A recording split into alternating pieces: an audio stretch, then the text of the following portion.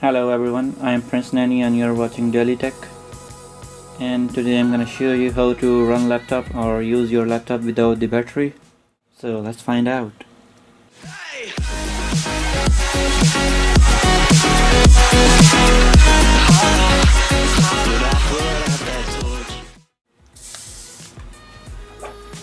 And this is my laptop. It's Dell 5547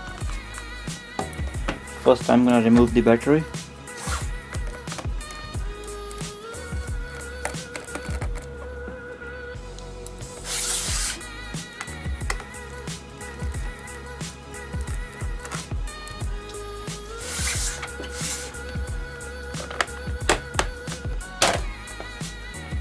So the Dell 5547 comes with the fixed battery. Let's remove it first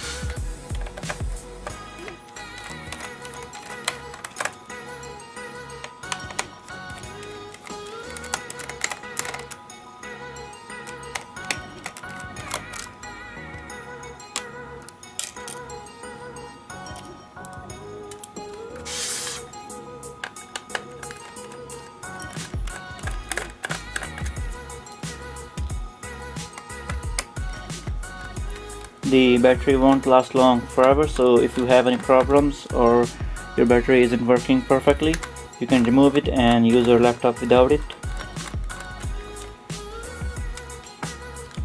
So now all the screws are removed. I'm gonna pull this battery up.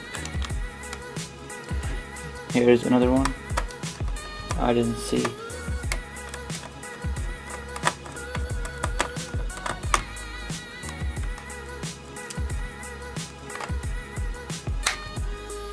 so this is the battery.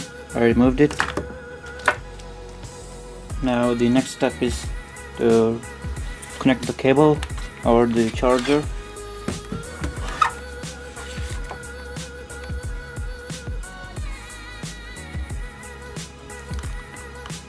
And now just turn on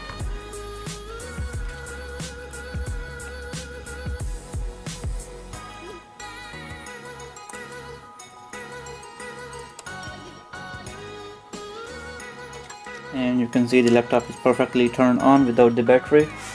I'm gonna show you this is the battery I removed. And if you go and see at the battery point or the battery icon you will see a small cross icon there. The battery is not installed. And if I click on this icon you'll see it says the no battery present so if you are using your laptop without the battery make sure you don't disconnect the charger cable or your laptop will certainly turn off. So at this point you can change the setting to high performance in the battery uh, like no balance or no power saver because you remove the battery and it's not gonna affect the battery so you can use high performance option so thanks for watching this video guys. Hope you like it and if you like it please give it a thumbs up don't forget to subscribe my channel. I'm uploading videos every day. And i recently uploaded a video about what's inside the ssd or what makes the ssd a faster laptop.